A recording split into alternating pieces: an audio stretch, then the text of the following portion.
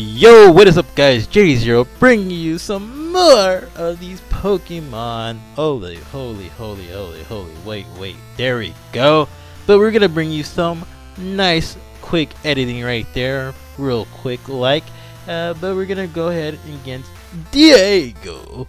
Or, as you know, uh, they pretty much go by Blender on uh is it Blunder? Blunder on my gym leader league amino. Definitely guys check out the amino. Kid do not check out the amino. Uh trying to get more people to join that amino. Just definitely just come and check it out. Alright guys. Um but here we are with another double iron gym challenge against uh, your boy here, and um, it's gonna be very interesting. It's gonna be very interesting. I haven't been doing any uh, gym challenging for a pretty good while. Um, I've been trying to at least get some gym challenging on some little cup. I did pit up maybe one or two.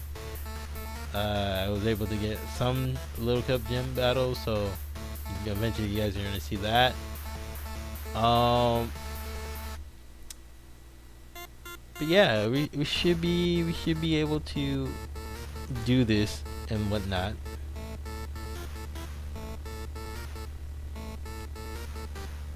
We should be able to do this and whatnot. We should be able to do this. Let's see. Let's see what we got here. Mm, mm, question, question, question. What should I choose? What should I choose? Ugh, it's so difficult. What should I go with?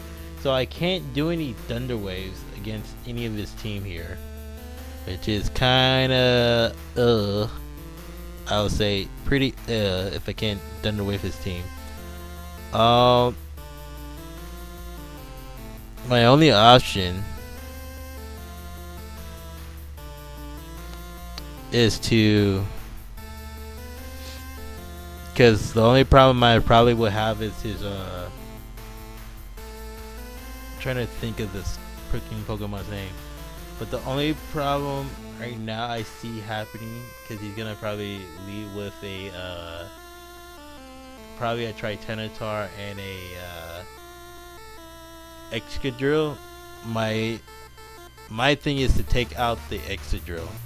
That's what I'm hoping to do because Excadrill is the threat. Oh, it's not an Excadrill. I mean, it is an Excadrill, but it's not the uh. Interesting. So, well then, I could go for a Rock Slide.